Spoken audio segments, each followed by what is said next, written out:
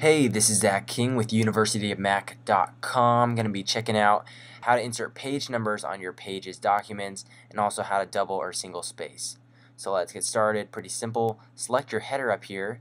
If you hold your mouse over, it'll appear. We're going to go on the right column. So if you select the third button up here and your, your format bar, and what we're going to do is just go to Insert. Once you have that selected, go to Page Number, and that'll insert from page 1 all the way down and if you continue down it goes on to the other pages sequentially. So there's page numbering. Also double spacing if we select what we want spaced.